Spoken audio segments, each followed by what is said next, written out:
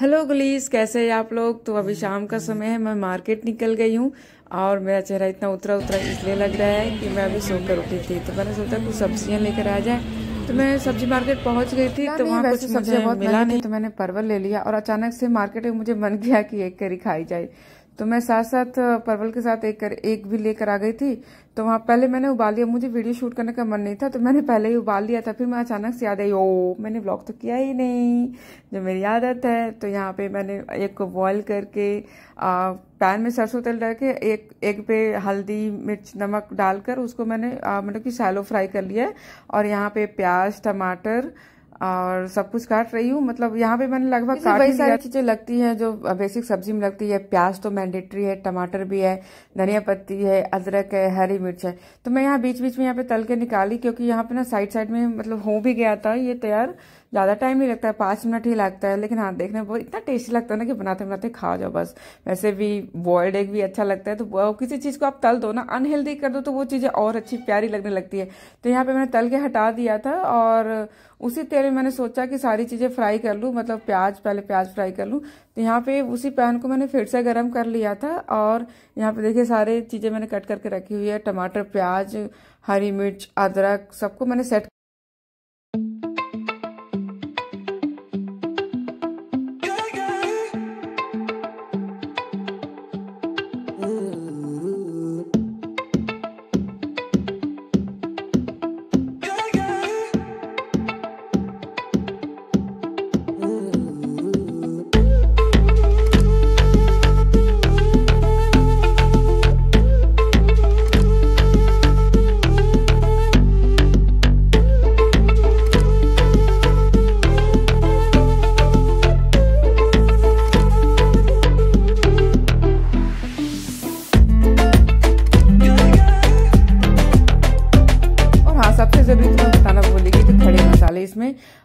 गोल मिर्च, जो खड़े मसाले का मिश्रण होता है, वो स्टार वाला क्या होता है, मुझे नहीं पता है बस बाकी मुझे दालचीनी पता है गोल मिर्च पता है, जीरा पता है, लौंग पता है तो वो पहले तेल में मैंने डाल दिया था, उसके बाद ही मैंने प्याज डाला, अदरक डाला, हरी मिर्च डाली और प्याज में नमक डाल के उसको गलाना है, क्योंकि एक करी ढाबा स्टाइल अगर बनाना है तो प्याज को गलना चाहिए, क्योंकि एक करी में प्याज हम लोग चौकोर चौकोर कट के डालते हैं, और वो जल्दी गलता नहीं है हाँ अगर उसे गलता भी है तो थोड़ा थोड़ा खड़े खड़े रहते हैं तो वो ढाबा स्टाइल वाला मज़ा भी आ जाता है तो यहाँ पे अच्छे से फ्राई करूँगी, नमक नमक डालकर ढक ढक के पकाना कि ताकि जब ये पके तो प्याज अच्छे से मैश हो जाए।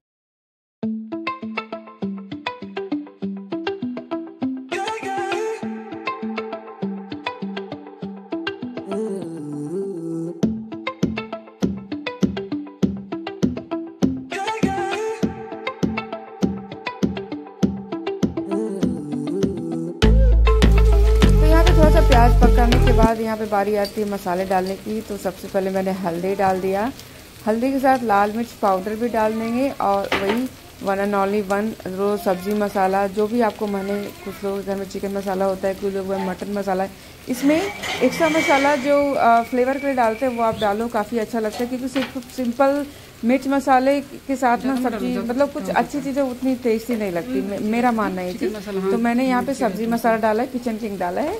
और यहाँ इसको मसाले के साथ पका लूँगी और यहाँ यहाँ अदरक सॉरी यहाँ पे लहसुन और अदरक अदरक का ही पेस्ट डाल दिया था वो शूट करना भूल गई थी तो आप इसमें ज़रूर डालें क्योंकि जब आप कोई भी चीज़ नॉनवेज आइटम बनाते हो तो बिना लहसन का अच्छा नहीं लगता तो मैं लहसुन पेस्ट डालना प्रेफर करती हूँ और उसके मैंने फिर से ढक दिया और कितने अच्छे से देखो ढक ढक कर पकाया इसको ऐसा ऐसा होने में कम से कम तो दस मिनट लगा दस मिनट ढक कर अच्छे से पकाया हल्का सा पानी डाल दिया छिड़क दिया था कि ताकि मसाले जले नहीं और इसे अच्छे से इसे अच्छे से पका लिया और उसके बाद जो बॉयल्ड एग थे बॉयल्ड एग जो मैंने फ्राई किया था, उसके साथ भी मैंने मिक्स कर दिया है। इसे डालने से क्या होता है ना कि एक जो है ना, जो अलग से उसके साथ ग्रेवी के साथ, मसालों के साथ अच्छे से मिक्स हो जाता है। तो और थोड़ा थोड़ा और पक भी जाता है थोड़ा सा चिमड़ा हो जाता है। एक करी ना थोड़ा सा चिमड़ा खाने में मज़ा आता है वो नॉनवेज वाली फीलिंग्स आती है। हाँ पता है भाई कुछ लोगों को एक लगता है कि वेज है लेकिन हाँ ये और नॉन वेज ही है। जिनको पसंद है खाते जिनको पसंद है नहीं खाते तो ये मेरा तैयार थोड़ा सा पानी डालकर इसे और अच्छे से पका लिया था पंद्रह मिनट। अब देखिए ये मेरा कितना टेस्टी वाला तैयार हो गया है। और बिना धनिया पत्ती के तो कोई भी सब्ज़ी कोई भी नॉनवेज आइटम तो पक्का होता नहीं है तो मैंने ऊपर धनिया पत्ती तैयार है गर्मा गर्म स्पाइसी एक करी। तो अगर आप लोग को ये वीडियो पसंद आ रही है, अगर आप अच्छे अच्छे ब्लॉग देखना चाहते हो तो please like share and subscribe my channel Shagun Varsha तो मिलते हैं नेक्स्ट ब्लॉग में. बाय